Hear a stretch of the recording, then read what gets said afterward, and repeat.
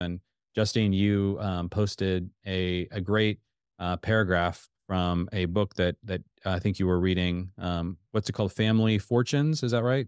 Um, Yep. yeah, I, I really like this a lot. And so, uh, Michelle, you were describing, you know, at your Shabbat table when Cameron um, he reads the Proverbs 31 blessing over you, and um, we've had that practice as well. Um, and we're trying to. I'm always trying to figure out how how do you come into the, your identity as a as a matriarch, and um, and so this this is really interesting. The Proverbs 31 woman is is a, is really it is the it is the uh, depiction of of the of the biblical matriarch.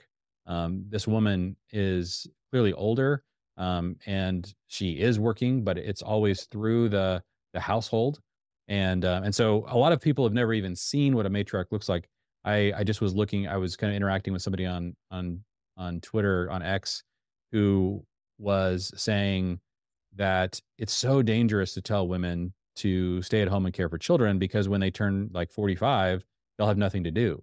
And i'm like okay this is this is one of the problems and this is one of the things i think we like to talk a lot about here at family teams and that is that man your your world if you're if you have nothing to do by the time you turn 45 um, then you are taking a different pathway than certainly we describe and what's being described in scripture um, the the sort of very isolated nuclear family that tries to uh, launch their kids out at 18 and and really pushes all of their entire family into a dispersion um, and and then the wife and mother sits at home with nothing to do um, that that is that is a very that, that is not the vision at all that you get from scripture um, and so uh, we can talk kind of dive into this but i think that this depiction that um, comes from this book about sort of what the matriarch is doing in contrast to what oftentimes we think of as sort of the 1950s housewife, um, I think is important to look at. So I'll read this, and then uh, Justine, I'd love to get your your take on this. What what this started up for you? But um, he writes here: the matriarch of the truly wealthy family is not like the housewives you see on reality TV shows. She's not a big gossip or a social climber. A matriarch is not a trophy wife. She doesn't spend her time focused on herself. She's not a big consumer of products. Instead, she's a producer, of capable, confident children. She focuses on her children, making sure that they are emotionally provided for, that they are well educated, capable individuals. She instill, instills in them a sense of duty to themselves and to the family. The matri- matriarch must be able to, and then he gives this bullet list one, share in the family culture and be capable of passing it along. Indeed, she must play the leading role in creating it. Uh, two, be capable of providing a stable home environment, even when the family is on the move. Three, understand and support the wealth building strategies of the family. Four, support socially the family objectives, which could include entertaining customers, clients, associates, learning foreign languages, managing contacts with friends, relatives, business associates. Five, master complex tax and trust issues, not to mention subtle investment issues. And six, be emotionally mature and confident and have the depth to avoid getting distracted, which is not easy these days. All right. So um, yeah, we we love looking at depictions of matriarchs, and so I'm curious, Justine, what did what how did this strike you? I just felt like it gave such a beautiful picture of like the high and holy calling that is motherhood. That often, like you said, it's not depicted that way. It's more um, lazy and just consumptive rather than um, producing and being very intentional within your home and your children and towards your husband. Um, so I just really appreciated like, wow, when you read that, you realize there's a lot that goes into motherhood um, that is devalued or not even talked about at all. And I just appreciated that. Yeah. Yeah. Yeah. So much like good detail. April, you're in the midst of this transition. So we talk a lot about the the sort of progression from maiden to mother to matriarch. And so, yeah, what what are some things that you've thought through? Anything in that paragraph sort of reminiscent of, of things that you're working on or you're seeing in this transition? Yeah, for sure. I I do feel like um it's like an additional description of what we see in Proverbs 31. Um, the idea of understanding like the financial, the economic engine of the home, um, being involved in that to some degree. Um, and that can change you know, through the years. And then as you're expanding, there becomes more um, to either take on or to navigate. And I feel like um, you just have to live a certain amount of years for, mm-hmm. for these things to happen. And so it's really neat to see God's progression of maiden to mother to matriarch. Um, I mean, you might feel like the matriarch when you're younger if you have had to kind of become the Abraham and Sarah for your family. Like if you feel like you're starting from scratch or starting, uh, you know, needing to kind of break off a lot of old things and do things the way that your family maybe didn't do. So you might feel like a younger matriarch before you become a grandma, you know, at that point. But with me actually becoming a grandma recently, a year ago, um, it sent us on all these like different conversations like, wow, this is so crazy to see how this is um the timing is all lining up and like all of these different things. And I think even just like, oh, learn a foreign language. It just happen happens to be in there. Like if your husband's dealings are from afar, then you're just gonna pick up on that foreign language. Well, I'm not sure what mom that's like in the process of like still birthing and nursing and recovering is probably also going to just take up a language, you know? So, um, that just kind of shows it's like maybe life after those things. And, um, I think when I look now at the years I have left on this planet, which of course is up to the Lord, I don't know how many they are, but they could be a good amount. And, um, so seeing what you can do and just reflecting on on how many years like Jeremy and I just had our 26th anniversary. Like, wow, 26 years. That's so long. But then when you look at my in laws, they've been married 56 years. And it's like, wow, that's so much longer. So mm-hmm. it's like there is so much life to live and there is so much to take on and so much, so many ways to expand. And as a matriarch, that gets me really excited about um, what's to come. And we don't even really know what that's going to mean. We don't know how many grandkids we're going to have. We don't know how like how far apart they're going to be or what genders they're going to be or um, where they're going to be living and so um, what that's going to mean for us but the fact that we i kind of open up my the continuation of surrender like michelle said like at the very beginning you're like laying yourself down so much there's this um, kind of self sacrifice, which of course the world hates, but this idea that Jesus gives us the example as a believer of laying down himself for others. And so we can do that in our motherhood in so many practical ways.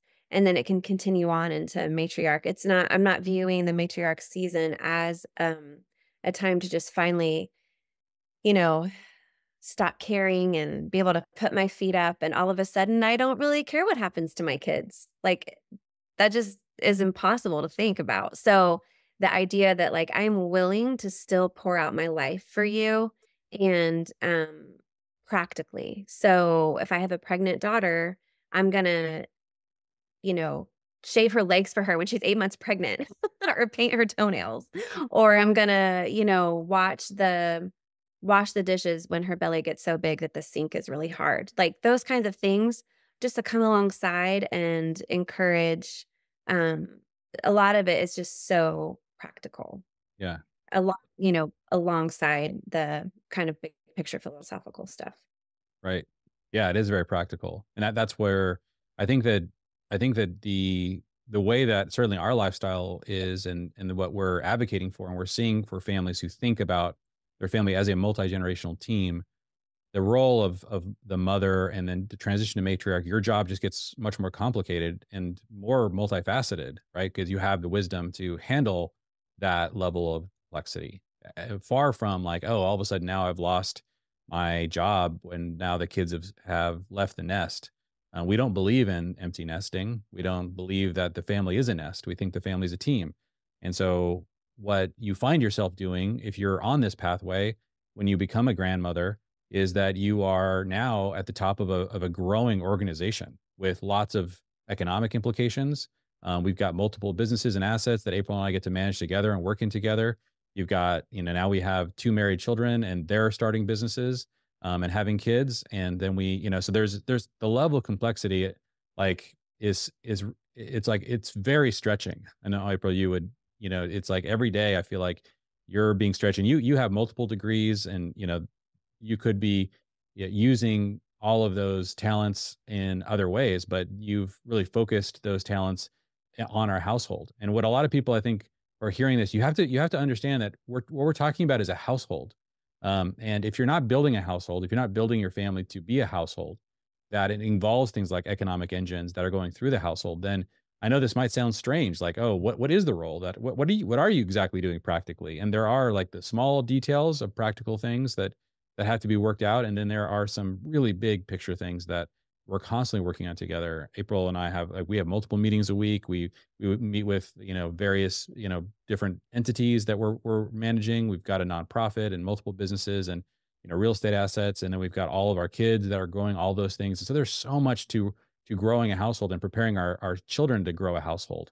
Um, so yeah, there's a lot going on there. And part of, you know, when you hear me, even in the intro, I kind of promoted, um, you know, Chris's business and Cameron's, you know, his YouTube channel. Because I, I just see that I don't, uh, somebody might hear that and go, oh, why would you even mention what their husbands are doing? It's like, I don't think of it that way at all. This is what their families are doing. Like these are things that are supporting their families and that, you know, their wives are going to be a part of supporting in whatever way you know that they, they can but this is this is just part of the whole deal is that the economics um, uh, are an integrated part of the household. The businesses and assets that are owned by the family are nested underneath the family. They're not some kind of separate individual identity being chased by one member of the family. And so that, that's a very different way to to think about it. So yeah I'm, I'm curious michelle for you as you think about like as you're moving closer and closer to getting into um, the matriarch stage what are some things elements of this that are that are uh, kind of standing out to you yeah, well, speaking of gardening and my husband's channel, um, I just keep getting this visual from the garden, which is helpful for me and maybe it's helpful for listeners today.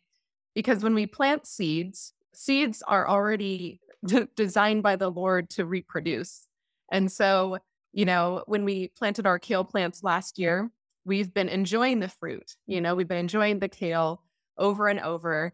And um, but right now, they're starting to seed. They're sending out the flowers and the seeds are forming, and pretty soon they'll fall to the ground to reproduce. And well, April was sharing about motherhood and just the different stages. I just was thinking of how God's embedded that same process in the garden, um, where there's, you know, one seed starts it and then a plant emerges and you get to enjoy, you know, the person enjoys the the fruit of it. And there becomes a point where like actually for kale once it starts to flower and there's seeds the leaves that are remaining become bitter like you can't eat them they're super very bitter um, but it's because the the plant is using all of its energy to reproduce quality seeds mm. and it's just, i feel like that's a, a, a picture of motherhood where you know we're at that stage of you know almost two teenagers and just really like trying to get them in a position to like go to their next stage, you know, where they're and it I don't know. So if that makes sense, um, it's just kind of cool to think about how there's other things in nature that point to that same thing. There has yeah. to be some of laying down of their, you know, the life in order for the next to thrive. No, that was great. I, there's a life there's a life cycle that you have to embrace and i think this is really intimidating for people in our culture because you're only mm-hmm. allowed to ever be a maiden in our culture. You see someone like madonna in her is she in her 70s now? Like still dressing and acting like she's in the maiden stage? It's it's never appropriate to just say no now i'm a mother and so i'm in a new phase now i'm a matriarch. You know this is i think this is what's so disturbing about what's going on with taylor swift we were talking about earlier which is um, you know the fact that you know, it was cute when she was in her 20s, you know, like, oh, I'm trying to date, I'm trying to find the right one. Are you still trying to find the right, right one? Like, like, and now her latest album apparently has gotten a lot, you know, a lot more cynical. Yeah, that, that like this is going to happen if you don't make those transitions properly. It's really important that we tell women this. They don't know this. They're, they're really taught you need to constantly fight for that maiden stage and just hold on to by the, you know, by your fingernails um, and, and into your 50s, 60s, 70s. It's like, man, how is this helping women? You know, it's like this is not realistic at all. This is not helpful. Um, and we need older women to say, hey, whoa, whoa, whoa. You're like, it's okay to make this transition. You know, you're not losing something that that isn't taking you into a better place. But that's the reason why we need people like going back to our previous conversation where you know we have to be able to say out loud that these transitions are good and there have to be men who are saying i'm not just interested in um, going from one maiden to another maiden. I want i want to marry a woman who is making the transitions and we're doing it together. She's Mhm. becoming a mother i'm becoming a father she becomes a matriarch i become a patriarch. Like that those are really beautiful transitions in a family and and i think that they're they're the pathway for maximal thriving for for the vast majority of, of men and women